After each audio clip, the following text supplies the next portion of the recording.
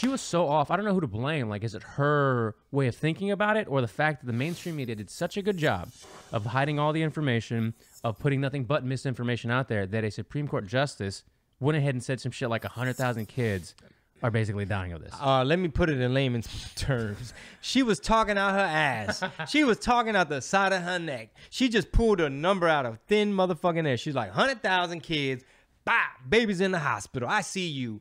That's, she just like fucking made shit up. She's like, uh, this is still very serious. We got 100,000 babies on incubate, people getting ventilated. They dying, they piling up bodies.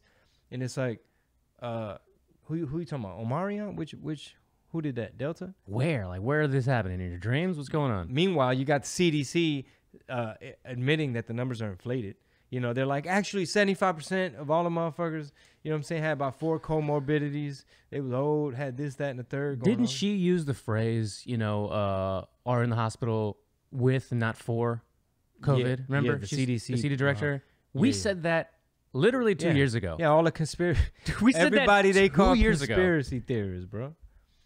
What's the scoreboard? Conspiracy theorists, what we got? 23 2,385 points. At least. And then the woke mainstream is zero, negative. They're negative, yeah.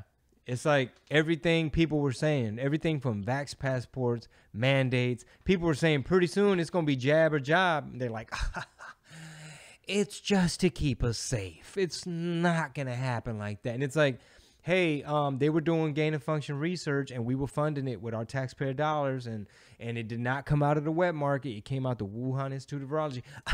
oh my God, seditionist. How er, you're an insurrection. You're you're inciting an insurrection right now with your language. That is Asian hate. Stop it. How do you feel about your comment section from two years ago versus now?